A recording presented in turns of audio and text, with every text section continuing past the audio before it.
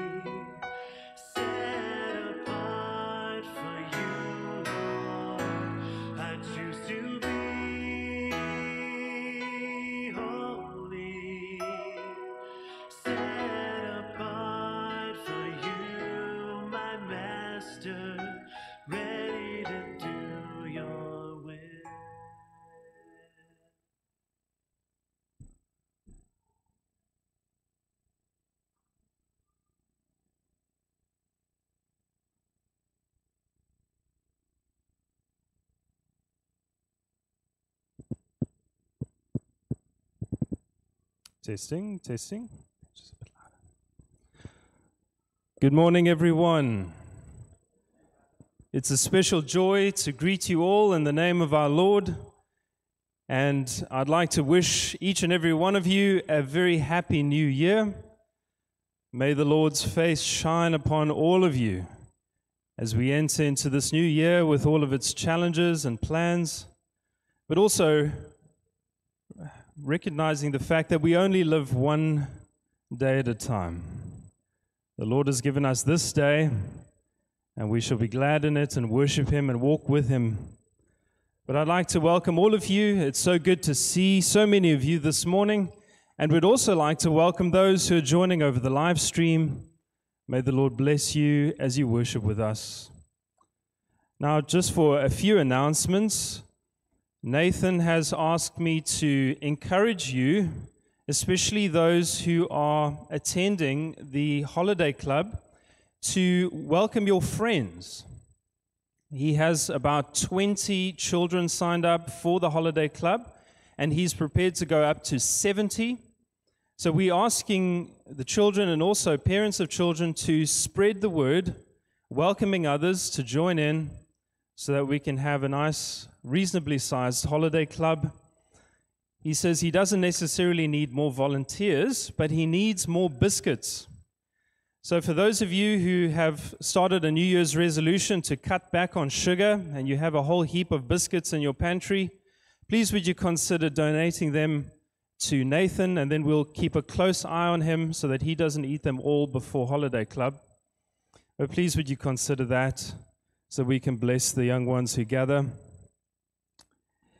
And then, dear friends, um, I'd like to take the opportunity, especially as we start a new year, to encourage our church to attend our worship gatherings faithfully. The elders have been looking through the attendance records, and we see some encouraging things, very encouraging things. We've had a wonderful turnout from the majority of our members and many adherents, but we also see some troubling things. We see a good number of members who are not attending our services faithfully, and from our limited perspective, we wonder why. And so we'd like to encourage you, encourage you to also encourage others to attend our services faithfully. We need to ask ourselves why do we come together to worship on a Sunday? And there are two great purposes. The first is to glorify and worship our God. That should be a good enough reason for us to come every time to worship and glorify our God, Father, Son, and Holy Spirit. Our God, in all of his wisdom and glory, has called us together to worship him. That's the first great purpose to worship him, to enjoy him. The second reason is to love one another. We don't come here for ourselves. We don't come here for our own entertainment, for our own leisure. We come here to love one another. We come here to encourage one another in the faith. We come here to encourage each other as we greet one another and show interest in each other's lives. We come here to display to the world our love for one another. And Jesus said, They will know that you are my disciples when they see your love one for another. So, those are two very important reasons why we do this to glorify God and to love one another. So, let us encourage you Christians have been doing this for 2,000 years. And there are Christians in our world who would love to have the freedom we have to worship together freely like this. There are Christians in some parts of the world that are being hunted and persecuted. They have to meet in the shadows, they have to meet underground and in secret. They would give anything to have the freedom to worship like this. So let us be mindful of that, friends. This is a wonderful, sacred rhythm that God has woven into the Christian life. Let us embrace it and enjoy it and glorify God in it. Let me just remind you of something from God's Word, Hebrews chapter 10, from verse 20, sorry, 19 to 25. The Lord says this. Let us hold fast to the confession of our hope without wavering. For he who promised is faithful. And let us consider how to stir one another up to love and good works, not neglecting to meet together, as is the habit of some, but encouraging one another, and all the more as you see the day drawing near. Let us meet together regularly. Let us stir one another up to that love and that good work. And let's encourage one another.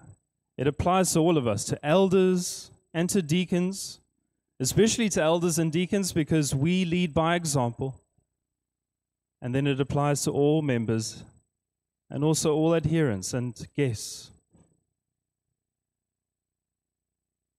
So far, we go in our announcements this morning. Now, let us turn to God in prayer. Let's bow our hearts and minds together.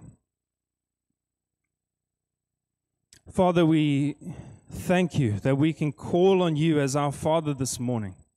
What a wonderful privilege we have to be your children and to know that the God, the creator of the universe, has set his love on us. And you have proven that to us by sending your Son to us to be our Redeemer, to be our prophet, to be our priest and sacrifice, and to be our King. We ask that you would help us to worship you faithfully through him. We also pray that your kingdom would come with great power in our time. We long to see multitudes in our nation come to faith in Jesus. And we pray that you would bless the preaching of the gospel throughout our land. We ask that you would build up the church, especially in a time where church attendance is dropping so drastically. There are many who have come to a place in their lives where they wonder whether it is worth it or not to be a part of the church. Many have become so distracted and so in love with the world and their own leisure and their own individual freedom that they have forsaken the church. And God, we pray that you would turn this around and that you would revive your church and build up your church to the glory of your name. We also pray, dear Father, for Beacon Baptist as we face a new year. Father, we do not take this year for granted. We live one day at a time in your holy providence. We cannot claim more time for ourselves than what you've given. But we pray that you be gracious to us, one and all in our church, and that you would grant us wonderful opportunities to grow and to share the gospel and mature in our faith. We pray that you would guard the pulpit of this church so that truth would be preached in season and out of season. Lord God, have your way among us and revive us and reform us. And that we pray your will be done on earth as it is in heaven. We commit to you our country and our president. We ask that you would bless our leadership with wisdom and with justice. Please, would you have mercy on this land which suffers in so many ways under the, the horror of corruption? And Lord, help us to be faithful citizens in it. Then we also ask that you would have mercy on us in this time of pandemic. Would you restrain this virus and would you help this land to rebuild? Lord God, have mercy on us. And then, Father, we pray, give us this day our daily bread. You know all of our needs. We thank you for the wonderful amounts of rain that have fallen, and we pray that you would grant us more rain in season. We also ask for your blessing upon our farmers and their great work, and I ask that you would protect them and bless their labors. Would you be with us in our workplaces, especially as many of us plan to return? And we ask that you would give our people strength and help them with wisdom and with honor as they work hard to provide for their families and also for their churches and for those who go without. Lord, have mercy on those who are looking for work, for those who are struggling financially. Would you provide for their every need? Then we confess our sins to you and we pray, forgive us our trespasses as we forgive those who trespass against us. Lord, we have sinned in so many ways. Even today, even this morning, there have been things in our lives which displease you. There have been attitudes. There have been words. There have been gestures or deeds which have fallen short of the glory of God. And so we pray for your cleansing grace and forgiveness. We thank you most of all for the great high priest and advocate who stands at your right hand, who pleads for us, who intercedes for us with his own blood. Thank you that there is forgiveness through Jesus. And then help us to extend that forgiving grace to others who offend us. May we be known as forgiving, gentle, compassionate people.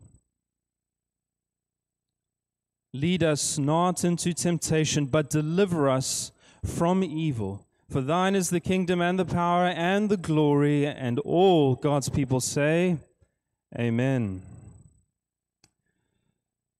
Now, friends, it's our privilege to welcome Brian Stone to preach the word to us this morning. Thank you very much, Brian, for coming all the way out from Kaysers Beach Brian is one of the elders at the Kaysers Chapel in Kaysers Beach. And he has been serving in ministry for over 50 years by God's grace. Brian is a good friend to us here. We thank you for your ministry. We praise God for his example. And amazingly, in God's providence, Brian actually served at the church that Nikki and I come from in Pretoria. He served there for, is it 12 years? So, in God's providence, this Reformed Baptist world is quite small, but we are glad in it. So, thank you, Brian. I'm going to hand over to you, and uh, Brian is going to call on the children. So, if there are any young ones, come and join Brian here in the front.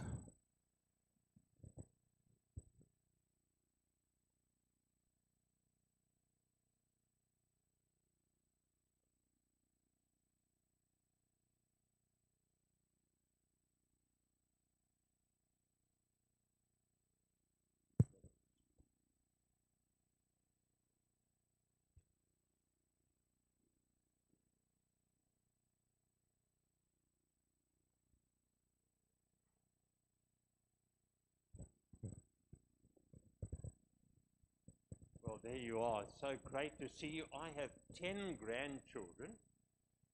Two of them are married already. And I'm so praying that I would have a great grandchild. And I have, you don't know what this means, but I've told my children that the first grandchild gets all Uncle Brian's inheritance. So you ask your dad and mom about that when you get home, what the will is and the inheritance. And so we're waiting for a great grandchild. Now we're in 2022. I can take this thing off, yes, of course. That makes me feel much better. We're in 2022. One of these days, you're going to be starting school. And I thought, well, what can I talk to you about today that will encourage you? And I remembered the story about Pilgrim's Progress. Do you know the story about Pilgrim's Progress? Anybody heard that? Oh, you must get your dads and moms to tell you the story about Pilgrim's Progress. It's absolutely essential. So when you go here, you tell them, take all your pocket money and all their pocket money that your dad, your mom gives your dad, and you buy a Pilgrim's Progress book. Because the story here is about two men, and they were walking to the heavenly city. Their one name was Hopeful, and the other one was Christian. And they were going along, and they were on their way to heaven or to the heavenly city. and on the way, they'd just come past a lovely river and some lovely green grass, and the path was soft and green.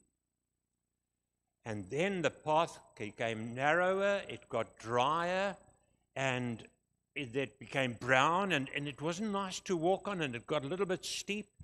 And Christian, who was the older Christian, he looked over the fence and he said to his friend Hopeful, Hopeful, look, the path we're on is going that way, and the path on the other side of the fence is also going that way, and the grass is green on the other side. So, you know what they did? They climbed over the fence and they continued walking. But they didn't realize that the path that they were on slowly went away from the main path. And they walked and walked, and then they saw somebody ahead of them. His name was called Vainglory, which means proud and full of himself. One of those young people, boys and girls, who seems to know everything. And they said to him, Where are you going? He said, Oh, I'm going to the heavenly city, the same place you're going. And they said, Can we follow you? And, they, and he said, Yes. And so they followed him, and they got further and further away from the main path. And suddenly it became dark. And the clouds came over, and there was lightning, and there was thunder, and there was rain. And all of a sudden, when they couldn't see vainglory or proud anymore, they suddenly heard a terrible scream, ah! And they went as far as they could, and there was a big hole in the path. And this man had fallen into the hole and they could just hear him at the bottom groaning, and eventually he died. So Christian and Hopeful decided they're going to go back. But by now, the rain had been so much that the, the little rivers were all full and they nearly drowned themselves. And eventually, they got to a place where there was a little cave on the side of the bank of the, of the, of the, of the hill.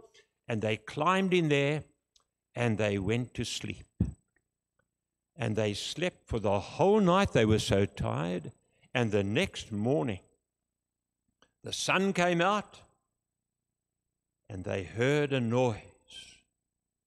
They woke up, and who was standing there but a big, big giant? Giant Despair is his name.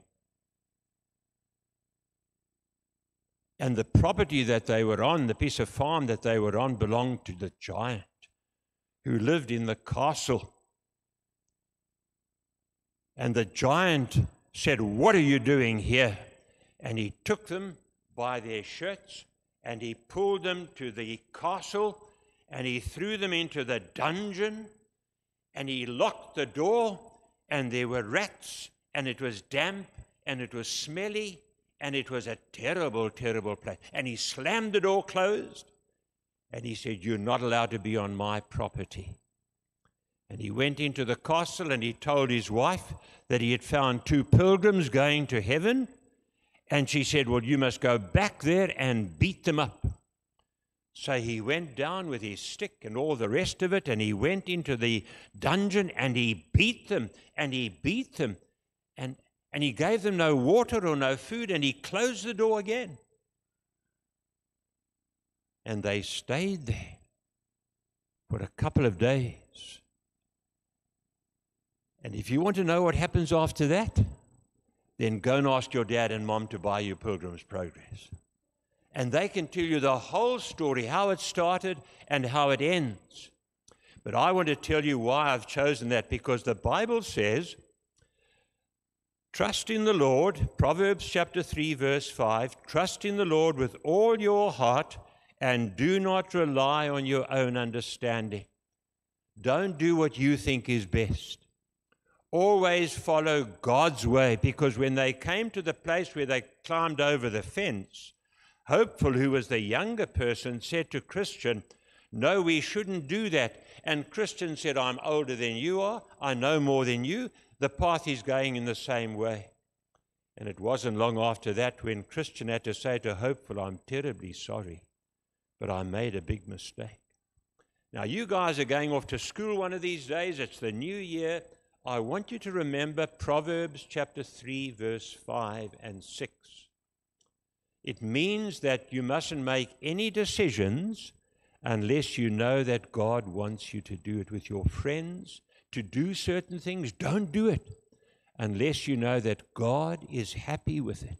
Because if you start doing the wrong things, it's going to get worse and worse. And you won't end up in a dungeon. Whoa, you'll end up in a place where there's no God at all. And that will be terrible. So go home now and get your dads and moms to buy you Pilgrim's Progress and start reading that from the very beginning. It's very exciting. It's better than some of your games you're playing on your computers. Thank you for listening, and the Lord bless you and back to your seats again. Thank you.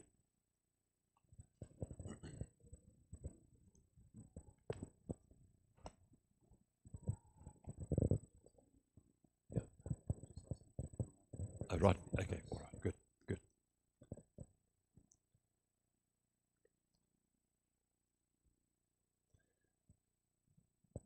Well, thank you for the invitation and the opportunity to be with you this morning as I bring God's word to you. I count it a great privilege to be able to start the new year together with you, and I trust that the word of God that He has laid on my heart will be a great encouragement to you. Would you turn with me to two passages of Scripture? The first is in Isaiah chapter 41, and I'm going to read the first seven verses there, and then on to verse 21 to 29. So that's Isaiah chapter 41,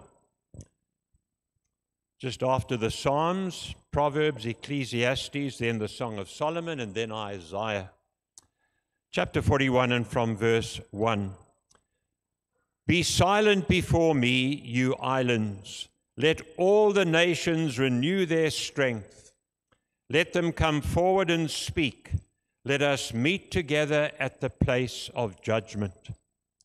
Who has stirred up one from the east, calling him in righteousness to his service?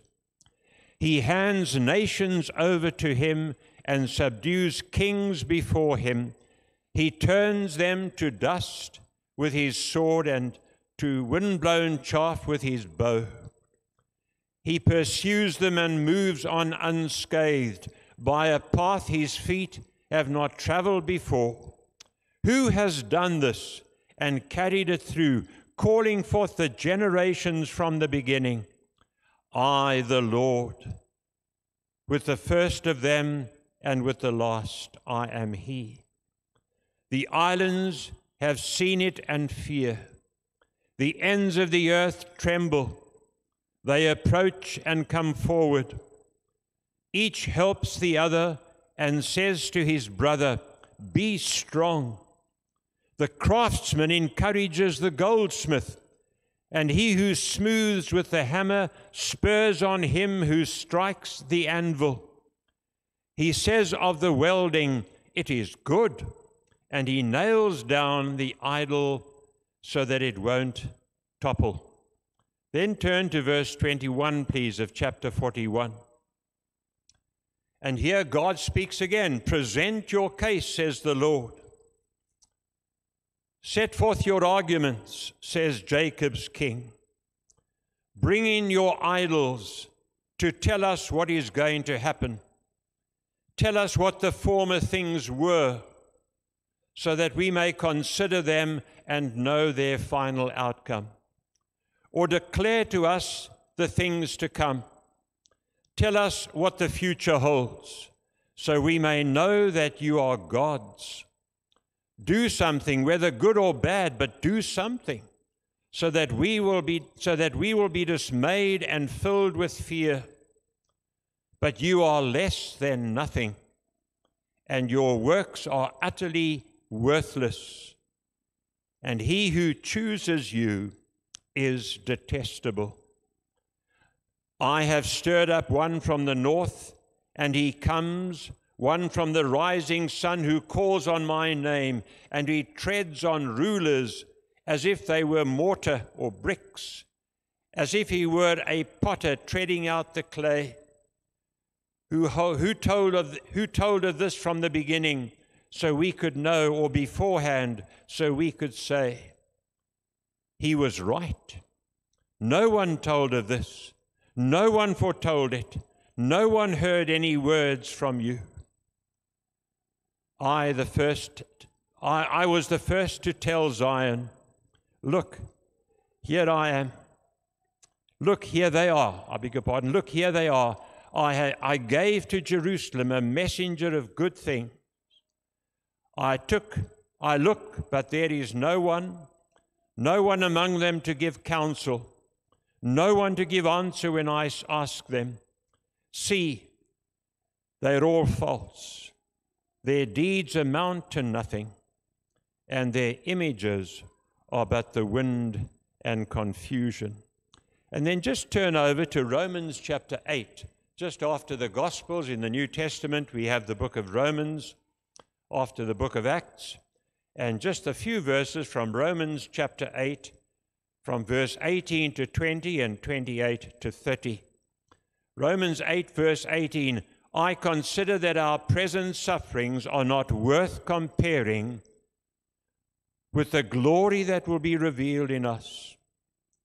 The creation waits in eager expectation for the sons of God to be revealed. Verse 28 And we know that in all things God works for the good of those who love him, who have been called according to his purpose. For those God foreknew, he also predestined to be conformed to the likeness of his Son so that he might be the firstborn among many brothers. And those he predestined, he also called, and those he called, he also justified, and those he justified, he also glorified. Well, may God add his special blessing to the reading of his word this morning, and I remind you that it is the very word of God that we have in our hands today. The title to our study of God's Word that I thought would be appropriate this morning is God is Still on the Throne. One of the commentators suggests we call this Behold Your God. Chapter 40 of Isaiah begins with Israel being called to behold her God. Look at him. And our world is in a state of change. Nations are unsettled, and yet we are reminded again and again and again from the scriptures that all the affairs of mankind are being perfectly managed and guided and overseen by the hand of a sovereign God global warming, acute weather patterns, moral collapse, economic disaster, political unrest, all of those things belong to God. So, how do we explain world affairs? Is it simply a case of the outworking of political and economic cycles and ways of evolution that come and go?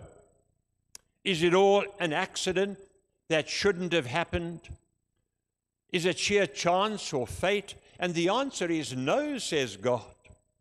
No. This is the work of God from the beginning to the end. And when you and I pray in the Lord's Prayer that Michael used this morning, Your will be done, we are in fact placing our confidence today in the belief that God's will will be done. One commentator says, by believing this truth, even though we cannot understand God's ways and are not able to see the direction in which God is going, it is in saying, Your will be done, that God gives us the power and the courage to work out our faith in times of great difficulty sometimes. He goes on and he speaks about the fact that these other gods have nothing to contribute at all. Winston Churchill was once asked, What are the qualifications that are needed for a person to become a politician? And listen to his answer. It is the ability to foretell what is going to happen tomorrow, next week, next month, and next year. And to spend the rest of his time in office to then have the ability afterwards to explain why it never happened and to blame someone else. The God we worship is different. The God we worship is different from the politicians and the philosophers and the philosophies of this world who promise, who plan, and who predict. And then they lie and they blame others because nothing works. What God promises, He will fulfill. We have over 2,000 years since the time of Christ to confirm that. And so when we come to chapter 41, Isaiah is addressing a tragedy that has developed in Israel, and it's exactly the same tragedy that you and I are facing, broadly speaking, in the church across the world today. And it is this we have many Christians who say, We believe in God, we worship Him, we are members of good evangelical churches.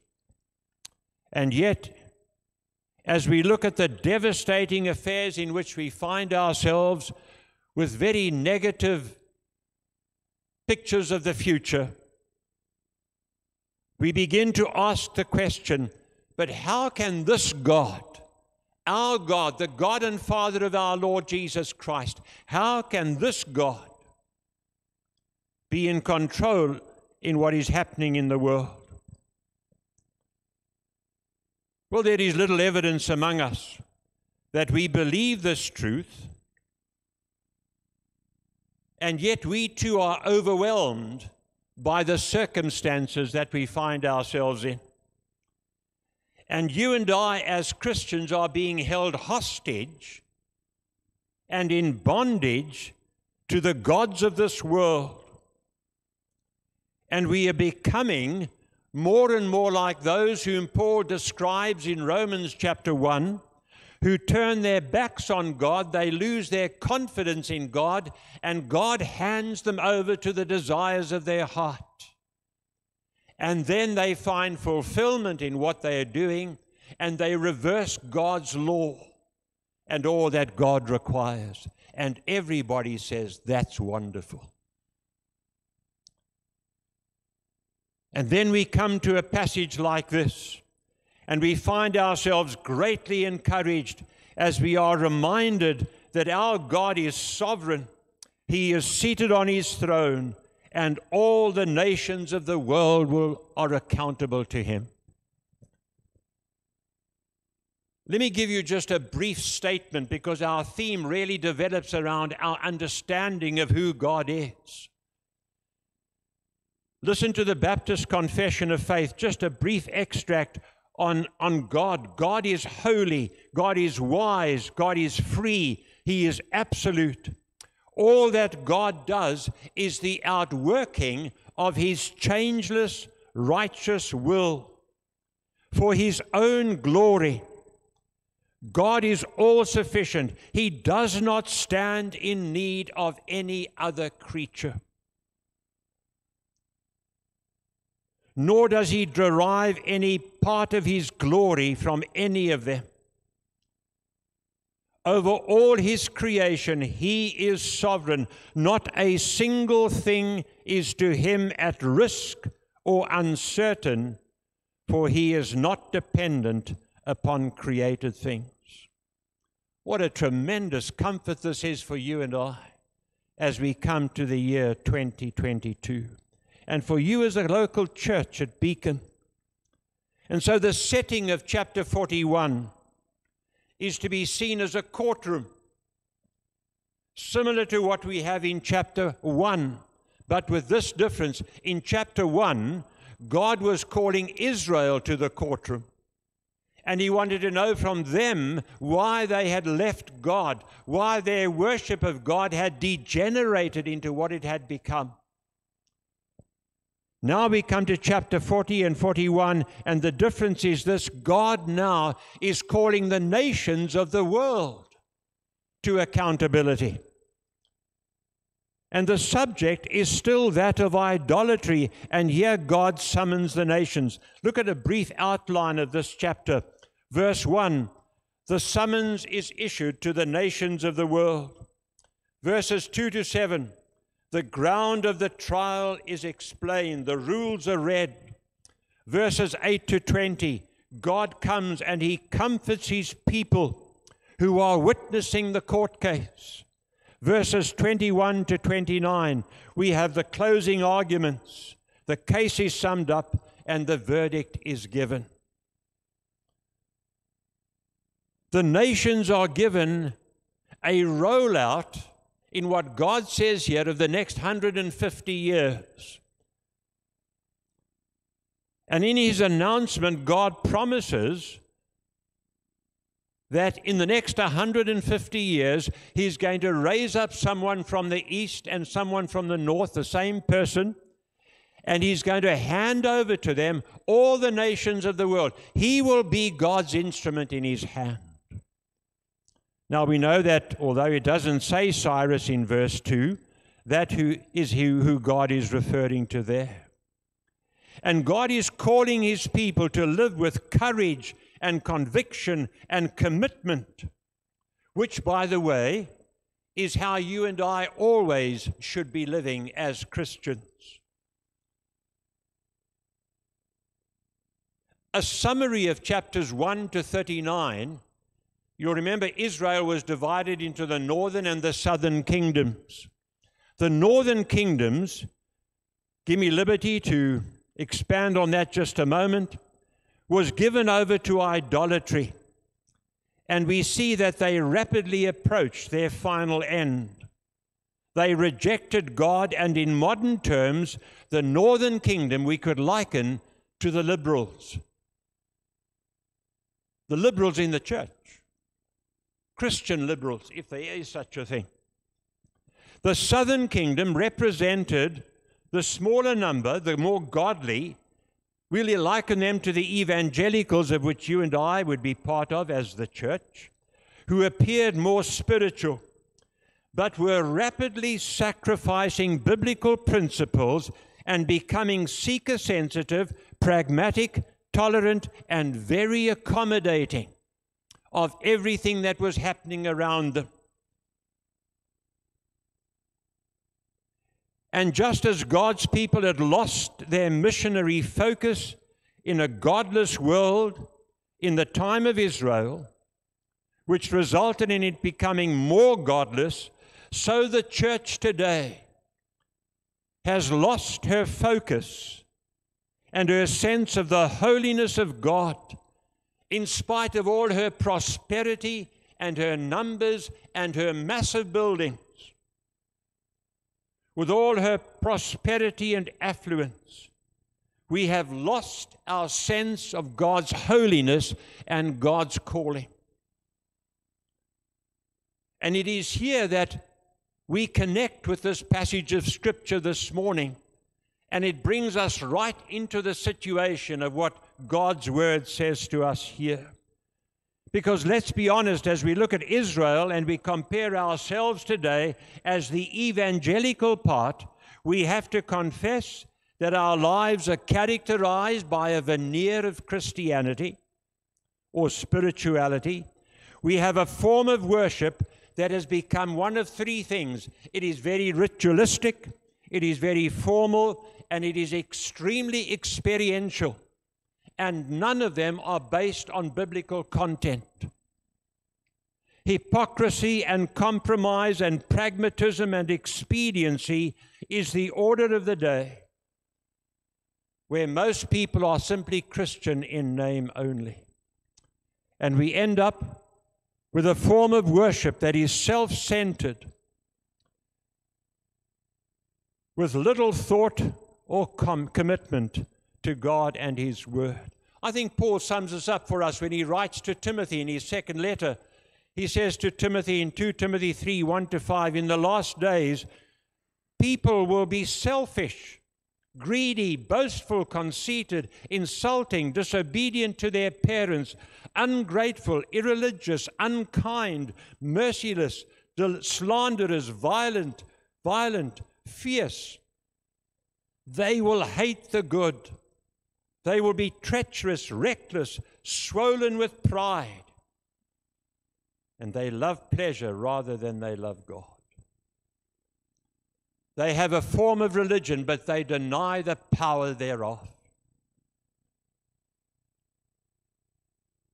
But at the same time, Isaiah also proclaimed the good news. And he told of God's activity in world affairs and in the lives of the nation of Israel. Chapters 1 to 39 is God's message of judgment to God's people based upon their sinfulness. Chapters 40 to 66 is God's message of comfort and grace and mercy to God's people if they turn from their wickedness. Earlier, God told Isaiah that his people would not listen to his message. It comes out in Isaiah chapter 6 toward the end. But God promised to restore Israel, a promise that he made 150 years before it happened. Isaiah 41 is known as the great I am chapter of the Bible, and you can pick up at least 10, 11, 12, maybe 14 I, I wills in, in, the, in, in that chapter. I will do this. I will do the following thing, says God. I predict something is going to happen, and I have the power to make it happen unlike what we see regularly on our faith TV programs. Predictions are made, prophecies are made, and nothing happens because they don't have the power to make it happen. God is different. Just this past week, I was flicking. You saw it probably. The visiting preacher on Faith TV said, I, God is showing me someone in his room whose lungs have collapsed, and the room is filling with the glory of God. And I can see the person just breathing, and suddenly those lungs are completely recreated. And then he moves on to another scenario, and another, and another. God doesn't work like that. God doesn't do that. God says, I will heal your lungs, and I will do it now. and it'll be a witness and a testimony to the people of God in the world. Creation, conversion, circumstances, confusion, chaos, compromise, and the Caesars of this world and the church all need to be reassured from this passage that God will do what He has promised He will do. Think of the season that we have just celebrated. In Genesis chapter 1, 2, and 3, God promised that a babe would come and be born in Bethlehem. And it happened.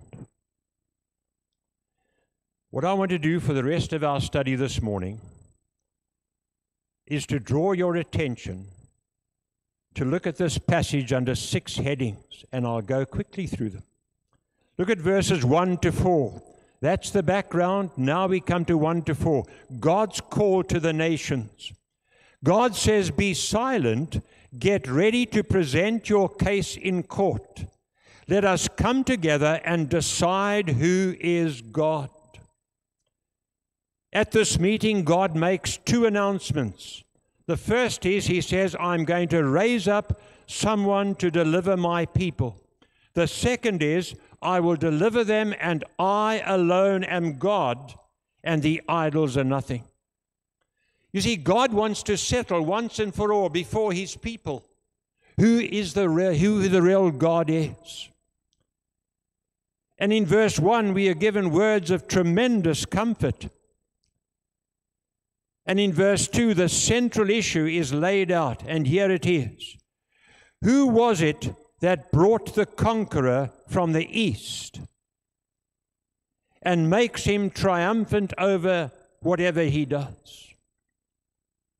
Who gives him victory over kings and nations? You see, at this meeting that God is calling, this is the question that is being addressed. It's not about who is the man.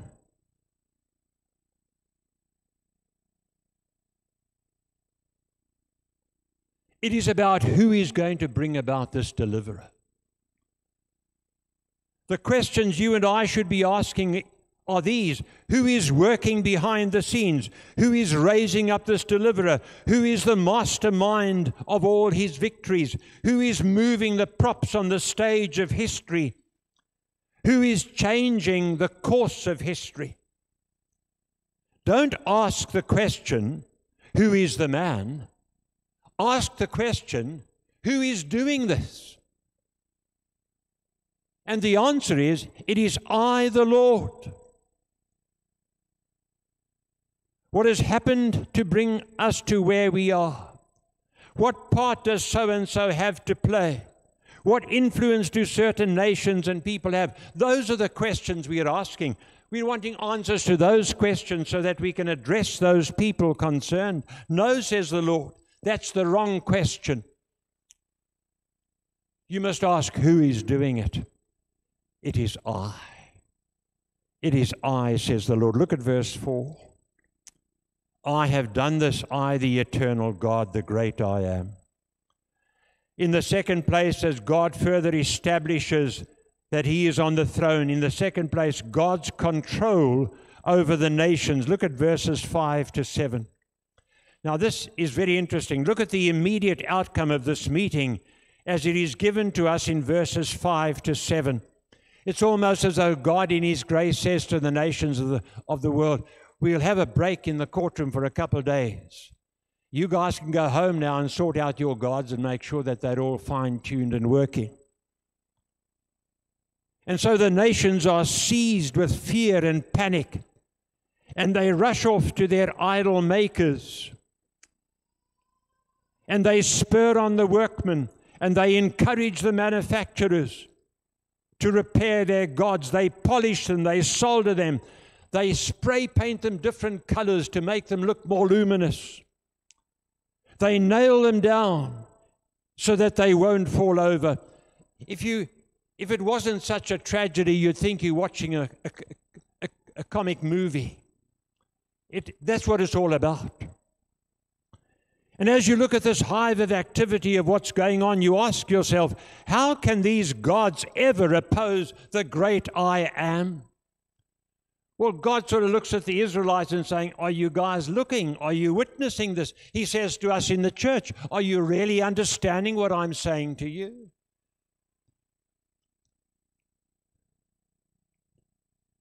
But instead, what does the church do today? We call in the consultants. We look to the arts. We look to the opinions of the specialists. We go to the entertainment world and we try and copy their practices in order to address the crisis that we are facing in the church today. And we are doing what the Israelites did and what the nations of the world were doing. They are looking to the secular gods to rearrange God's agenda. Well, let's leave them there for a moment in their panel beating shops and all the rest of it. Let's move on in the third place God's compassion towards his people. Look at verses 8 to 20. That really forms the heart of this section in many ways. Here, God comes to his people. He comes to us at Beacon this morning.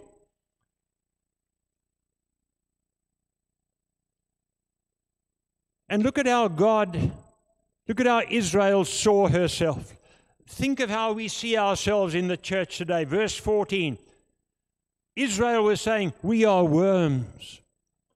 Verse 17, we are poor and needy. Verses 10 to 14 really is summed up in the words, We are little and we are weak. And we are the same today. That's exactly where the church finds herself when compared with the nations of the world. And that is right in a sense. We are nothing.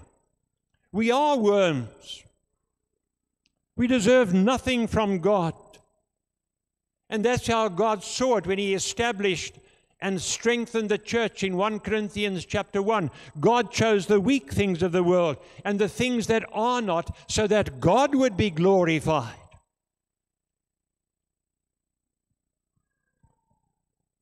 Can you imagine the Roman Empire, uh, a Roman emperor on the death of the apostle Paul calling the entire nation to a state of mourning? And having the emperor of Rome reading out a tribute to the apostle Paul as the great solver of problems. Paul created the problems by preaching the truth. And so God comes to his people and he says, I will do seven things for you. I will pursue you, verses 8 and 9, because I have chosen you. I have taken, the word is, I have grasped you and you will be secure. Verse 10 I will pasture you, I will be your shepherd. 3 I will protect you. 11 and 12 I will fight for you. Number 4 I will preserve you. Verses 13 and 14 I will uphold you so that your enemies will not prevail over you. 5 I will purify you. Verses 15 to 16 That takes us to Romans 8 that last section. I will cleanse you and I will conform you to the image of my Son, the Lord Jesus Christ. And that sometimes will be painful, but you will be, victor- you will be victorious. Number six, I will prosper you. Look at verses 17 to 18. I will provide for you. And seven, I will please you, verses 19 to 20. I will satisfy you and I will spoil you to the point where I will make you like a desert, like a paradise in the de- desert. And this is exactly what Jesus said to Peter I will build my church, and the gates of hell will not prevail against it.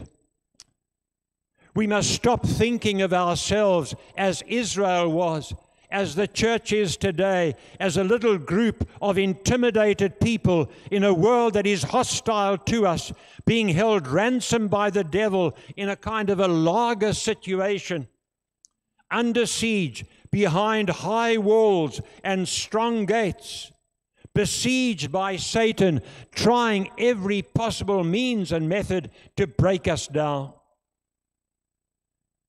Is that how you see the church? Well, many do. Well, if that's how you see the church, then press the delete button. And if a question pops up on the screen and says, Are you sure? Press yes.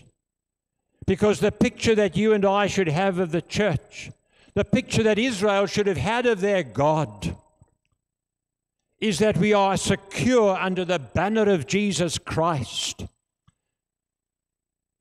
where Christ is attacking and smashing down the gates of hell, and Christ is entering in and he is rescuing and he is taking those whom he has chosen and he is delivering them out of the kingdom of darkness and bringing them into the kingdom of light. And sadly, like Israel, the church today has forgotten who we are, whose we are, why we are here, and what our purpose in this world is. This passage of Scripture teaches us that God's primary concern, listen carefully, God's primary interest and concern is not the United Kingdom. It's not the United States of America. It's not even South Africa or Russia. It's not even Israel. God's chief concern is for, the, for those whom He has chosen from before the foundation of the world by rescuing them and bringing them into the church, which is the bride of Christ. It is the church that has become the supreme object of God's delight. It is the church that is the object of God's compassion. It is the church that is the apple of God's eye. And I think we've forgotten that. Ephesians chapter 5 says Christ loved the church and he gave himself to the church. And he is perfecting the church as he removes the spots and the wrinkles. And that's a painful process. But he's wanting a bride to be pure and holy as he is. God has done everything that He possibly can by raising up Christ to bring to completion His great work of building and perfecting the church. Well, let's go back in the fourth place to those who were in the workshop panel beating their gods. Look at verses 21 to 24. God challenges, God's challenge to the false gods. He challenges the nations of the world. Look at verse 7.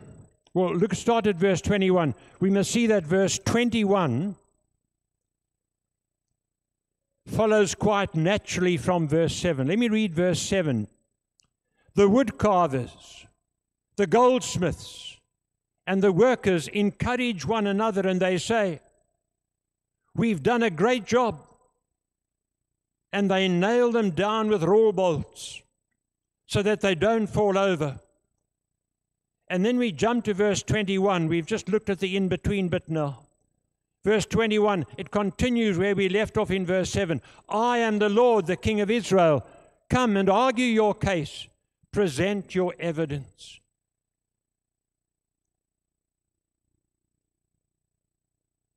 Do something. Do anything, says God. Do anything, good or bad, but do it.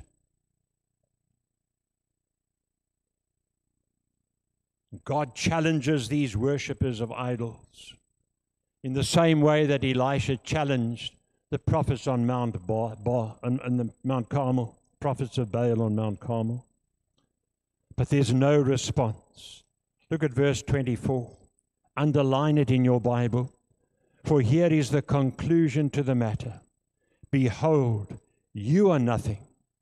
Your work is less than nothing and he who chooses you is detestable. we become, as one writer says, what we worship. We become what we worship.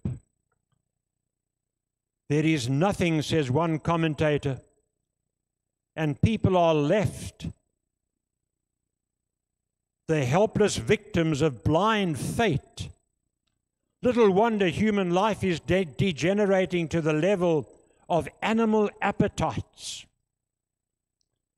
God is the God of history, and the only way you and I can understand what is happening in the year 2022 is to know God and His interpretation of it, which is in the Word. Here's just a word of application in passing to add to what we've said, where you and I need to begin as we start 2022. You need to settle in your mind the question who is God? God makes it simple. He says either it is the God and Father of the Lord Jesus Christ, and if He is God, then worship Him. And God gives you the option. He says, alternatively, if Baal or one of the other idols is your God, then that's fine with me too. Then worship him and serve him.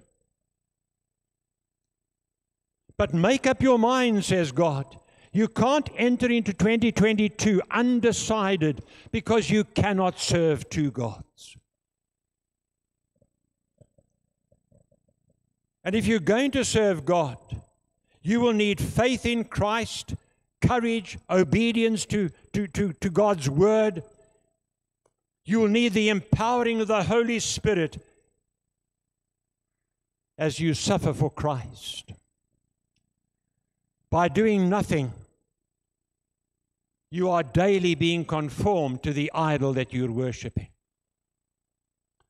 Look in verses 25 to 29.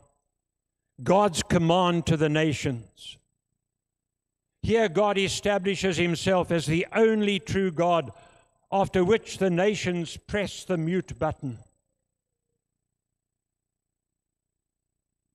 Here you have all the nations of the world in all their pomp and splendor, with all their many gods and solutions to the situation.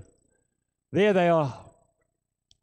They're all lined up before God, and they have one thing in common they are chup still, dead silence. Nobody says a word. Look at verses 28 to 29. But when I look, there is no one among them who has anything to say. Behold, they are all a delusion, and their works are nothing. The metal images are empty wind. And this is where God wants you and I to be in 2022. He wants us to be convinced that the Lord is God, that He is on the throne, He is governing, He is controlling, He is directing the affairs of mankind towards that great and ultimate culmination where God will be glorified as the church is united as the bride to the bridegroom who is Christ. And God will stop at nothing until that day is accomplished. Look at you, just, just pan over the section we've looked at from verses 8 to 20. God says, I have taken you out of the world. I have called you by name. I have chosen you. I have not rejected you. I have made you my servant. I am with you. I am your God. I will strengthen you. I will help you. I will uphold you. What more do you and I want in this day and age? And then to conclude, look at the final section God's comfort to Israel and to the church. And I want to conclude by summing it up with a bit of an illustration, which I trust will be useful. Um, I don't think any of these children in the front this morning would know what a 35 millimeter camera looks like or what a slide looks like. But most of you are over the hill, so you'll know what I'm talking about. Slide one. Picture a slideshow. The worst thing when you go and visit people and say, Do you want to see a slideshow of our wedding? and you sit for hours and you haven't got a clue who's there, you know nothing about the background. But the pictures are absolutely perfect. There was something about those slides. Well, slide one, we have the picture of God. And He comes to you personally and to you as a church this morning. And as He comes to Israel, He says, Don't be afraid, I'm with you. Slide two. He then comes a little closer and says, I will strengthen you. Slide three. He comes even closer and says, I will help you. Slide four. And this is the last slide. And it is of God putting his arms around you. And he is saying, I will uphold you with my right hand of righteousness. What are your other gods going to be saying to you this morning? All they can do is give you vain, empty promises. What greater comfort can you and I have in these days? Particularly when we think of the dark clouds. God says, I'm with you.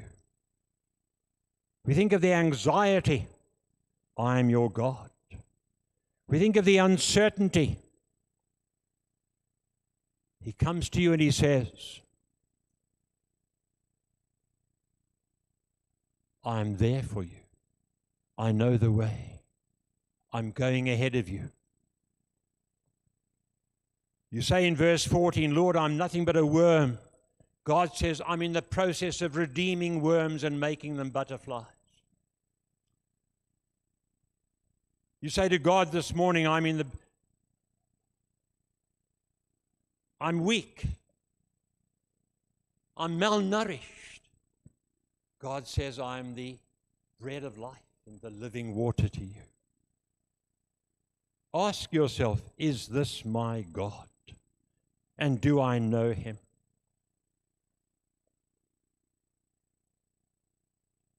Either he is your God who indwells and empowers you by his Spirit, or your God is nailed to the floor lest he falls over or else your God is found in the business times, trying to predict the economy. Maybe your God is found in the Huisgenoot section on the stars. Maybe your God will give you speculations and predictions that come via the mouth of the politicians. and you know that they are lying. You know that.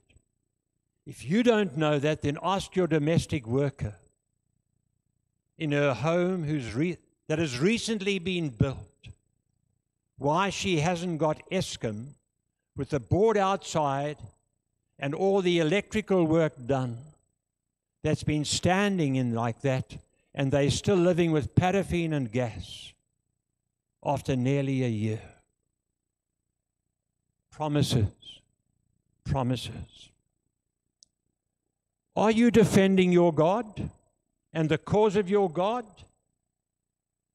Or is your God defending you? It's as simple as that.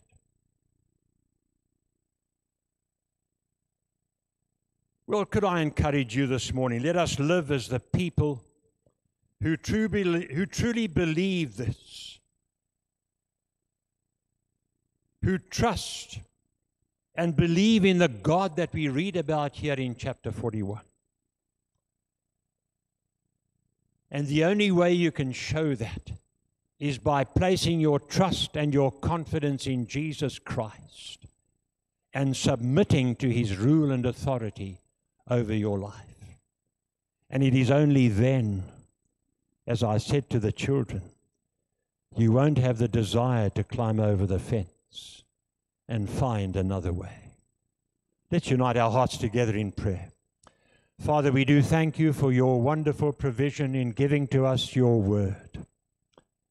And we pray that we might learn to hide it in our hearts so that we might not sin against you. Forgive us, Lord, for our presumption On Sundays, we profess you are our God. And for the rest of the week, we worship these other gods. And while we can fool one another, we cannot fool you. Give us every confidence that we need to bear witness to Christ in this new year. In Jesus' name, amen.